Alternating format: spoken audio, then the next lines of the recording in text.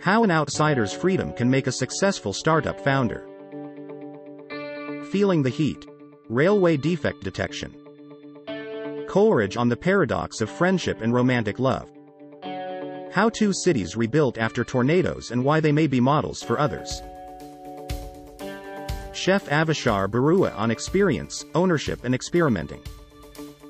Has Benjamin Netanyahu's assault on Israeli democracy been stopped? Alibaba to split into six units. The BRICS has overtaken the G7 in global GDP. Microsoft announces Security Copilot, leveraging GPT-4 for the new era of security.